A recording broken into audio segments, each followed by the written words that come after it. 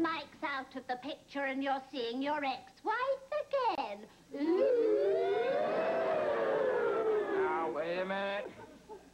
Wendy and I got together only to celebrate Matthew's birthday. At the end of the day, Wendy gave me a kiss on the cheek, said goodnight, and that was it. Just like when you were married, huh, John? Now, look, I am 100% over that woman. We are history. Fini. Kaput, okay? There is nothing that I wouldn't do for Matthew. There's certainly nothing I would deny him. Oh, and I'm sure that you feel the same way, John. don't you? What do you want this time, huh? What? A new car? A vacation? New furniture? Go ahead, tell me. What do you want? I want us to have another baby.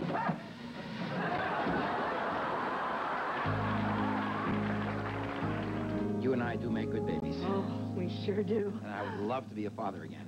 Oh, oh, John! Oh, oh, oh, oh.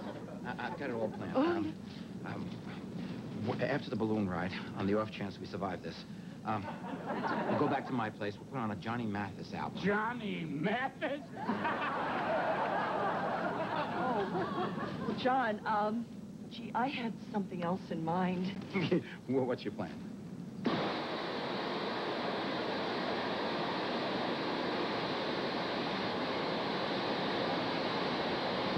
You want me to go to a sperm bank?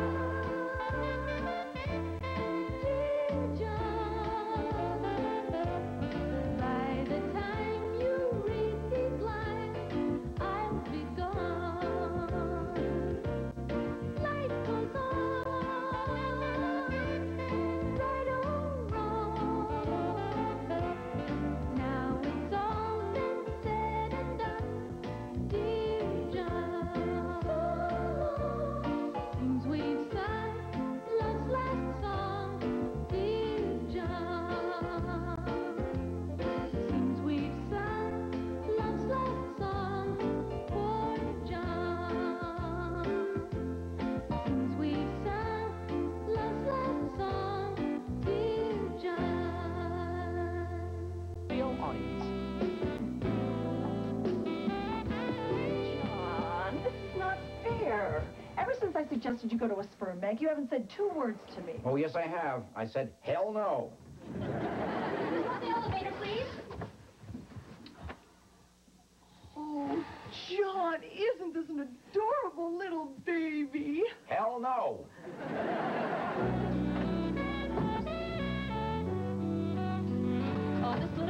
To college, all right.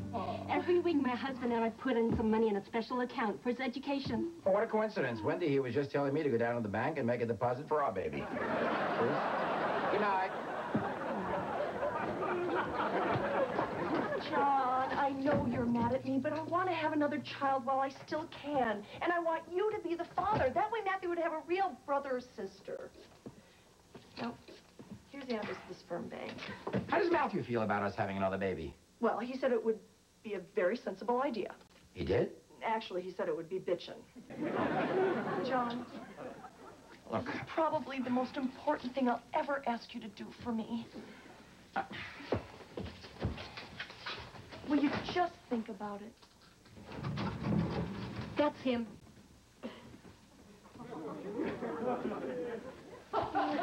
You think my baby's ugly?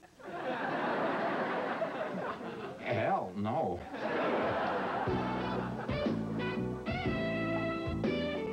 So, Kate, how was your big date?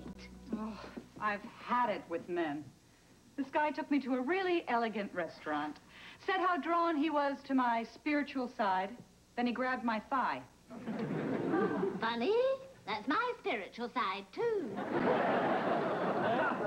Hi, everybody. Hello, Mary Beth. Mary Beth. Anybody hear how things are going between John and Wendy? No, not yet.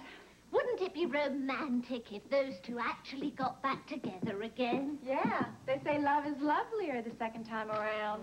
Baloney. I went through that with one of my ex-husbands. Oh, the first time around was heaven. What happened the second time around? They kicked us off the Ferris wheel.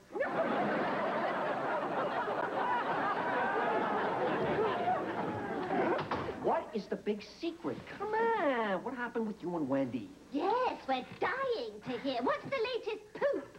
Did you two decide to have a baby? Yes, as a matter of fact, we did. Right, John, so tell me, what happened? You two went to bed and, uh, Uh, yeah. if you must know, Kirk, we never actually made it to the bed. Ooh, all right, John. Little ouch on the couch. Look, nothing happened on the couch. Ooh, even better. A little hug on the rug. A little smile on the tile. A little rollium on the linoleum. Did you hour in the shower? All right, now cut it out. Just knock it off. Wendy and I didn't do anything anywhere. I can't believe you people. Somebody says baby, and right away you all think of sex. There are a lot of ways of getting pregnant without sex, you know. I'm afraid we're not quite following you, John. Oh, yeah, John, don't tell us you still believe that toilet seat stuff. For your information, I happen to come up with the perfect solution. Thanks to modern science. Oh, do tell us, Dr. Frankenstein. I went to a sperm bank. Did you say... sperm bank? John, John, John, I can't believe this. All the fruit in this city just right for the picking, and you canned your own peaches? Yes. That's right, yes. I know, it sounds a little, uh... Lonely? Thank you, Kate. Look, Wendy and I both realize it'd be very complicated if we slept together again, and, uh, having a baby, my baby, is very important to her. And this way, Matthew can have a real brother or sister. You're so considerate. Any woman would be proud to have you as an ex-husband. Thank you, Mary Beth. Anyway, um, I went down to this, um, place yesterday and, um, made a donation. That way, Wendy can use it whenever she's ready. I mean, it's really very simple. It's very easy. You know, no regrets, no commitments, no emotional ties. No emotional ties. John, are you sure you're not clinging to some glimmer of hope that this baby will bring you and Wendy back together again? Uh, uh, uh, no, no, no. Wendy made it perfectly clear that this is strictly an arrangement. Yeah, but uh, how is this going to work? Well, I I mean, there must be a lot of legal ramifications involved in an arrangement like this. well, What actually... do you mean? Uh, well, for instance, how often will Wendy let John see the baby? Yeah, well, no, that, And what about child support? Well, I- I- two children. I imagine John will be paying double. Double? Oh, yeah, yeah, and what happens if Wendy remarries? Who's the child's legal father? Well, Look, I of guess course- John is the legal father. That's right. I- Wait a minute. Sorry. Wait a minute. Sorry. John went to a sperm bank. He may only be the Jaws legal father. Oh, come on, everybody. Give John some credit. To enter into something as important as this without a formal agreement, the man would have to be a complete idiot. Uh, excuse me. Excuse me. Yeah, John is no idiot. That's true. Gee, that's so involved. Wendy must want that baby real bad. Ah, I can understand. She must hear her biological clock ticking. I thought I heard mine ticking last night. Thank God it was just postnasal drip. Oh, come on, Wendy, pick up. Oh, well, I- I'm sorry to hear that, Mom. I wish there was something I could do to help. Mom, hold on. I've got someone on the other line. Hello? Oh, hi, John. Listen, Wendy, uh, can we get together tomorrow and talk? Oh, tomorrow's bad, John. I'm being inseminated. Listen, I've got Mom on the other line. Can I call you back? No, no, no. You cannot call me back. And what do you mean you're being inseminated tomorrow? What, what's the big rush? Well, the doctor has to do it while I'm fertile, and tomorrow's the day. Well, you can be fertile on another day. Look, we have to talk. Um, I, I just realized there are a lot of uh, things that still need to be settled. John, everything is settled. You made the donation, I'm going to have the baby. Now, if you'll excuse me, I've got Mom on long distance. It's very important. She's having trouble with her roses again. Wendy, you're not listening to me. You want me to call up that place and tell them not to give you my sperm? John, it's not yours anymore. The account is in my name. Are, are you trying to tell me that if I call them up and ask them for my uh, um, squiggly little things back, that they, that they wouldn't give them to me? Uh, uh, excuse me. I, I, I'm going to be quite a long time on this phone call. Wendy, listen to me. Wait, John, look. Now, I'm not going to argue about this. I'm doing it tomorrow, and that's it. Now, I'll call you when the rabbit dies. Wendy! Well, Mom, sorry to keep you waiting. Damn.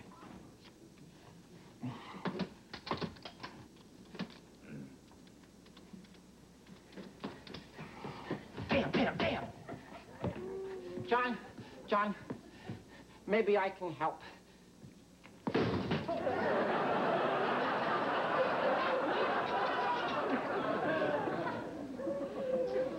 Sometimes you just gotta be tough. Hi, guys. Sorry I'm late. Hello, Ralphie. We were just discussing John and Wendy. Oh, oh, are they gonna get back together and have a baby? Yes and no. Huh? Ralphie, do the words artificial insemination mean anything to you? Are you kidding? If it wasn't for artificial insemination, I wouldn't be here today. Really, Ralphie? You've never told us that before. Yeah, well, it's not something I'm proud of. You know how embarrassing it is to be pulled out of a lake in front of 200 campers and have some counselor do that to you?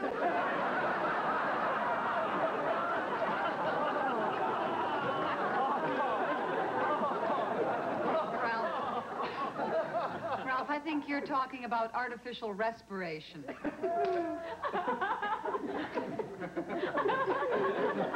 What are you talking about?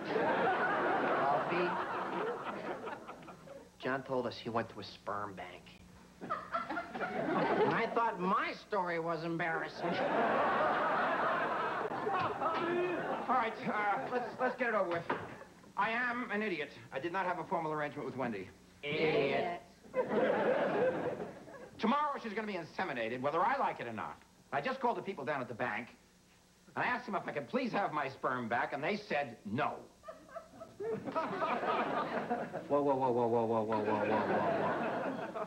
You asked them? Yeah. John, in case you haven't noticed, this is America. We got a frontier tradition to uphold. Did Horace Greeley say, go west, young man, please? Did Marshall Dillon say, come out with your hands up, please? Did the Lone Ranger say, hi-ho, Silver, please? John, sometimes you gotta hop on your horse and take matters into your own hands. And I'll tell you something else, partner. You're not gonna be riding into Sperm City alone.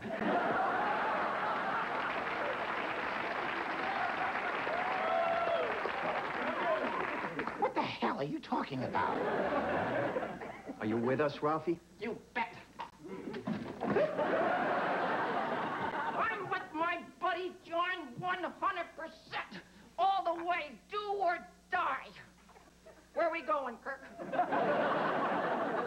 As Butch said to Sundance, it's a great day to rob a bank. What? Come on, Kemosabe. Let's go round up your silver bullets.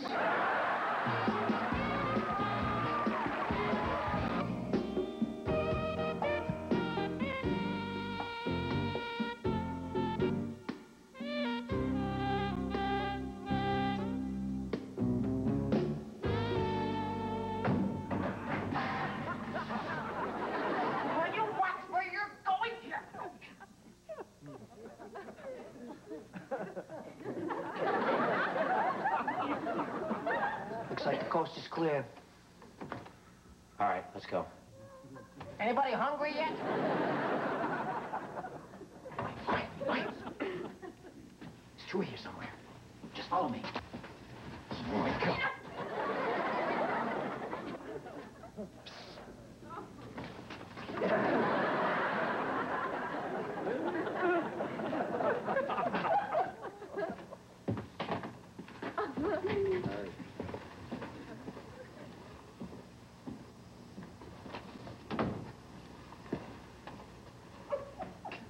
Boy, that was uh, close.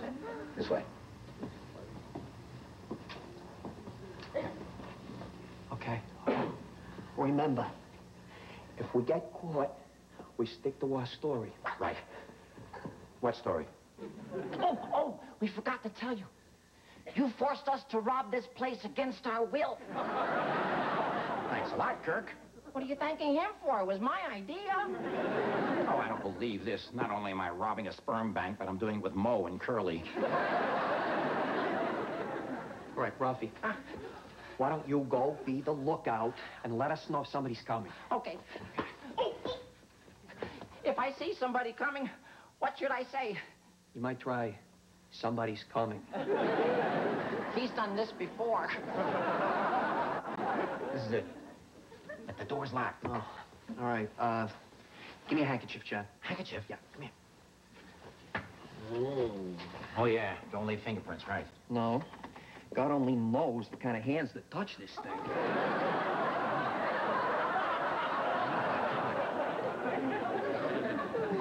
Okay. Here. I think I can open this with a credit card. John, give me a credit card. I hope you know what you're doing. Ooh, couldn't qualify for the gold. Oh, All right. Stand back and watch a master at work.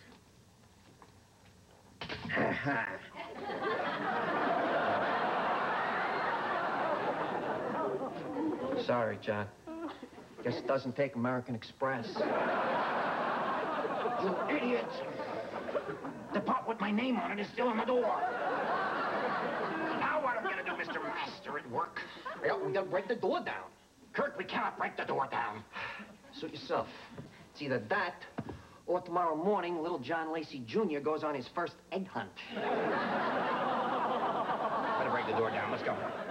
Are you ready? Yeah. One, two. What are you guys doing? We were gonna break down the door. Oh, sorry. Round. Who is it? Round. Open the damn door. Oh, you want to see the magazine?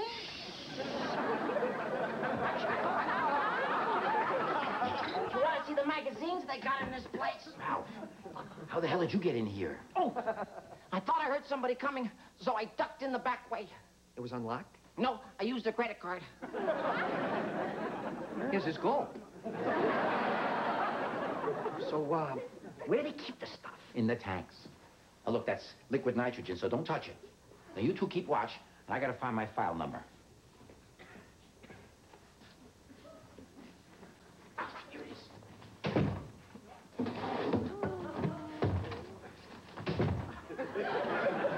What's this? Uh, Ralphie, if I'm not mistaken, that's where the guy goes to, uh... It's called the deposit closet. John, come on. We, I got very important places to go, people to see here. Let's not take all night. Oh, look at this, a VCR. Complete with motivational tapes. Helga does Holland. John, take your time. Kellerman, Kelly, Kurtz, Lacey. There we go. 7213.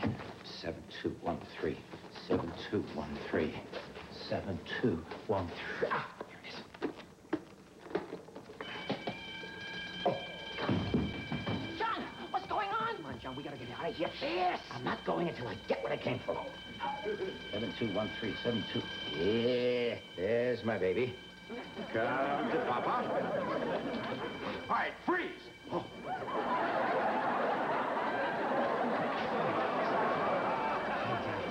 Now listen, I can explain this.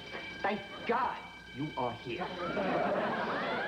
This man forced us to come down here against our will. Oh, come on. Are these handcuffs really necessary? Hey, just relax, okay, until your ex-wife gets here. And the bank is going to leave it up to her whether or not to press charges. After all, it was her property you broke. Okay, thanks, Sarge. Well, we spoke to the Pentagon. They said they never heard of you. Never heard of me. Right. Yes. That is the national security code for let him go immediately. Keep in touch, fellas. Cute. Right. Wendy, well, it's about time. Well, I would have been here sooner, but I wasn't sure how to dress for a breaking and entering party. You made a good selection. Wendy, uh, would you tell these nice officers that you're not going to press charges, please? Okay, John, I won't press charges. Thanks. On one condition, Condition? What condition? that you replace the donation that you ruined. No, forget it. Forget it. Absolutely not. I'm not going to go back to that room again. I'd rather go to jail. Book him. Oh, Uh, no. John, John, I know you're a busy man, but what is a couple of minutes out of your day? Time well spent, John. You can learn all about Holland. John, you are so stubborn. Officer, could I talk to him for a minute, please? Sure. Okay, John, maybe you're right. Maybe this isn't the best way for us to have another baby. Let's go back to your place. Now, Wendy, And- Wendy, we should not be trying to have a baby that way either. Why not? We had Matthew that way. Well, that was different. We were young, we were happy, we were in love, but I don't love you anymore. Wow. That's the first time I've been able to say that. I don't love you anymore. Congratulations, John, but I'm not asking you to love me. Look, Matthew's almost in high school. Then he's going to go off to college, graduate, and never come home again. I love being a mother, but pretty soon I'm not going to have anybody to be a mother to. I'm sorry, Wendy, but it's too late. No matter what you say, I can't do this. Damn it, Lacey, I should have got you in bed when I had the chance. Yes, now, could you, um, uh, get these things off me, please? Oh, Please. sure, John, in a minute. What are you doing? What are you doing? I've Wendy! always wondered, what's it like in here anyway? Wendy, oh, come on, stop that, Wendy. Wendy, will you stop? Uh, Wendy!